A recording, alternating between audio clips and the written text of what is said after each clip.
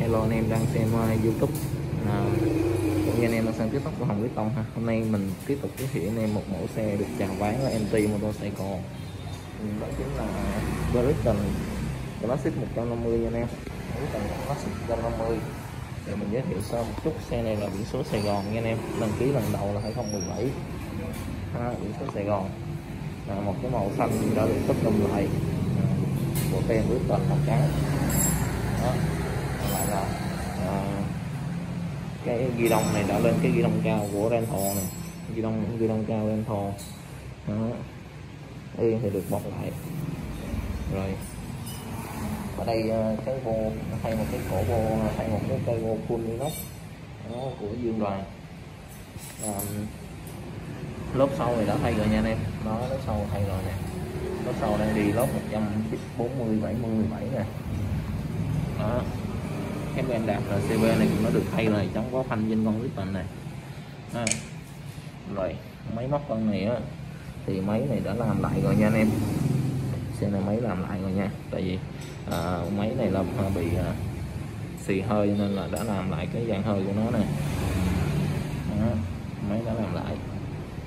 Thì à, Ờ, mình mua, mua xe bên mình á mình có bảo hành máy ba tháng cho anh em chơi thoải mái ha hỗ trợ quay đầu cho anh em. À, chán quay đầu hoặc lên đời thì cứ liên hệ bên mình ha. Đó.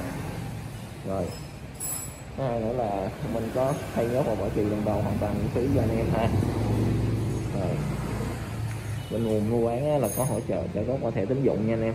Có hỗ trợ trả góp qua thẻ tín dụng. Ờ, thẻ tín dụng không phải thẻ ATM nha và mình có hỗ trợ ship xe và giao xe tận nơi cho anh em nha. À, con này mình bán á là mình rút hồ sơ gốc cho anh em sang tên nha. Con này không có ủy quyền nha. Đó mình rút hồ sơ gốc cho anh em sang tên. Rồi anh em nào quan tâm dòng xe này thì ghé địa chỉ bên mình ha. Hai bảy nguyễn du phường mỹ gọi gấp nha anh em. Em tin mình có xe cồn. Anh em nào mà quan tâm thì có thể gọi điện thoại trực tiếp cái số hotline bên mình là 0868 966 377 nha anh em. 0868 966 377 hoặc anh em có thể gọi điện thoại trực tiếp số điện thoại của Hồng ha. 089 86 86 337 nha anh em. Số điện thoại của Hồng nha. 089 86 86 337 rồi, cảm ơn anh em đã xem hết clip của mình.